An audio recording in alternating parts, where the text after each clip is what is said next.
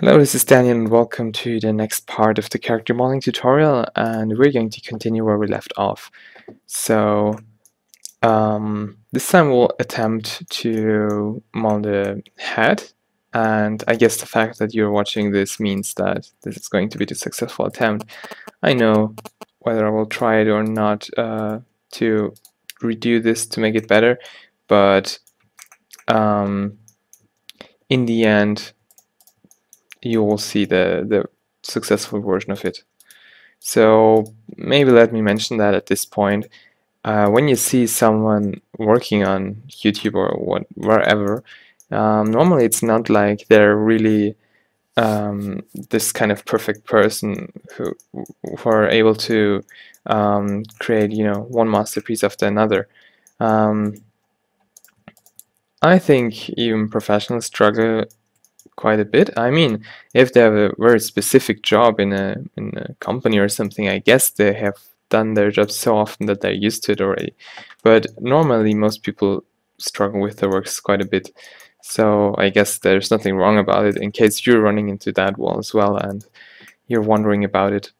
Anyways, we'll start now with the head and um, now to do that I just add a new object to begin with, of course. Uh, make sure it's centered, uh, especially along the x-axis. So I do that again by pressing, sorry, I almost forgot.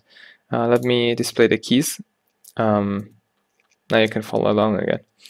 With Alt-G, you can center it and from here on we'll start working. Now in edit mode I start moving things so that the origin stays in the middle of our system. Um, doesn't matter actually for now that it's a cube, we will delete everything and add a mirror modifier as well. So we're still in edit mode, remember that. We're in edit mode in this object that we created, uh, but in this object there's nothing at the moment. Now this is a point where people struggled in my last video, so I'm going to explain it a bit better this time. Uh, if you want to create a new vertex from nothing, uh, what you do is make sure to be in vertex selection mode and then hold down control and with control held down just make a left mouse click and that will give you one single vertex. Uh, now you can activate here on the mirror modifier this feature again so that you see it mirrored. Um, now there is another thing. If you have it selected and you hold down control and click somewhere, it will extrude it towards there. If you have uh, a selection of multiple vertices and control and click, um, you will get an extrusion. Now if nothing is selected and you press control and um, make a click, then a new vertex is created. So that's how it works. Now what we're going to do is basically um, follow the outlines of the head. Uh, there are two important lines that we definitely want to follow and that's a strategy that I came up with over the years. I don't know. Um, I found this very useful. So my approach is to um, trace the lines, that were important ones, first, and afterwards um, try to make sense out of it in, in form of a 3D model. So that way I always hope to get the best possible um, you know, replication of the original model because making a face is not hard necessarily, but making a face that looks the same as a reference is pretty hard. It's the same with drawing and various things. Um, at least I see it that way. Now we'll create here now the second important outline.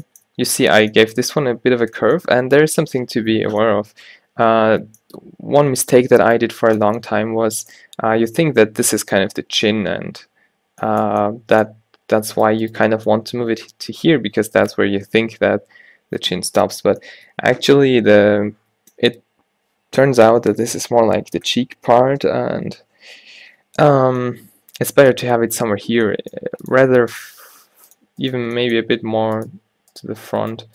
Um, you have to play around with that but um, it's definitely not too far to the back um, yeah, so we want to follow the outline again. Something you can always do to make things easier is uh, to do a Roth run of everything, um, just to give you some geometry to work on, and then just do subdivisions. Uh, by the way, I press Alt W to uh, subdivide. That's not the shortcut for you. Uh, that's again one of my custom shortcuts. If you want to uh, have a list of all my changes to Blender before I start working, go to part zero of this video in which I explain everything.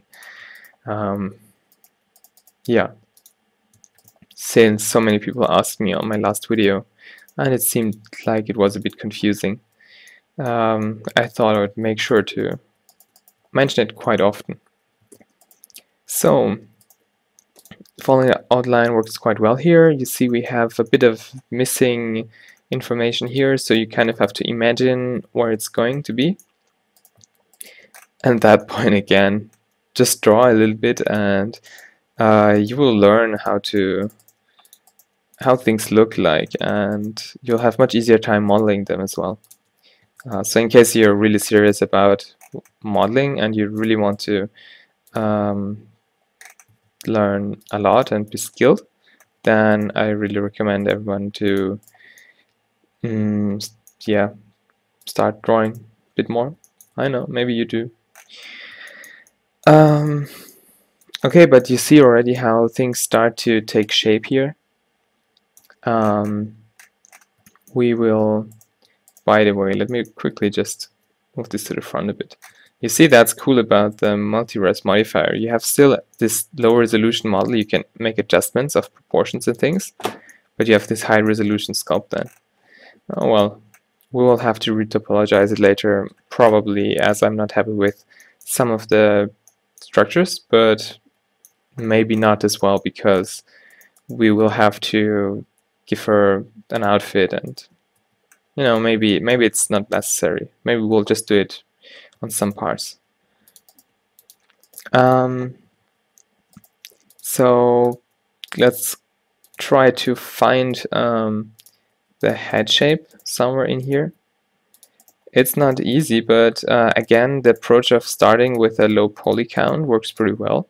So I then normally switch to the other side so I'm not distracted by the reference, and then I start to try to make uh, sense of what I've created before. Uh, you can ignore this part here, it's a bit distracting, so in edit mode just hide it for a while with H. And then just try to make it look okay. Uh, you can unhide those then again with Alt and H, um, but still this looks a bit weird. Um, let's use proportional editing to move things a bit better. It seems like she's looking downwards with it, which is a bit weird. I'm trying to fix that. Um, Yeah, I mean, that seems like it would work. And also, don't worry about too much about the reference here. I have the feeling that I added a little bit too less hair up here. So again, thinking about shapes is better than just following a reference the way it is.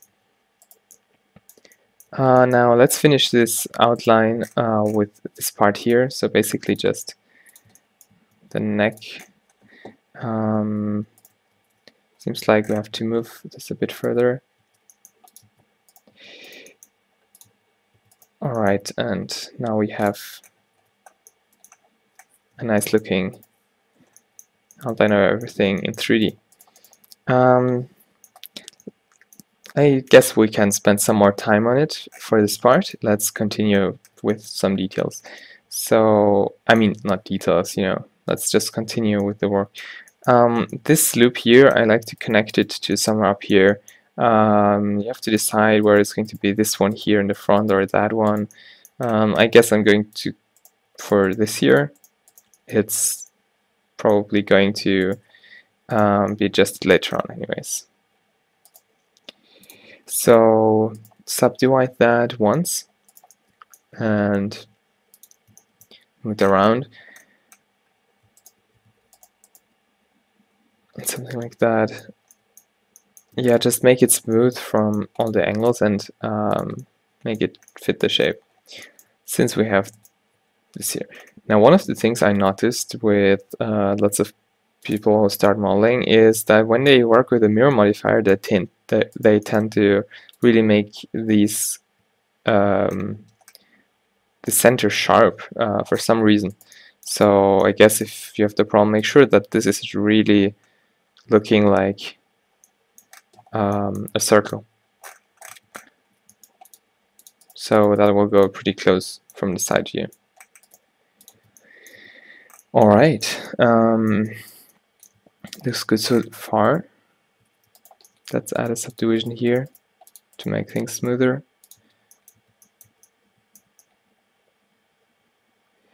Final check. Um, as for this area around the the eyes, I'm, I think I'll move those a bit further and give this a bit of a structure. Um, I guess maybe here there will be um, like a break in the loop of the topology. Maybe this will continue to here. Uh, that's the plan. Okay, but I guess that is good enough for this video. I uh, hope you enjoyed it. Um, we'll continue very soon in my next video. Until then, have a good day and bye.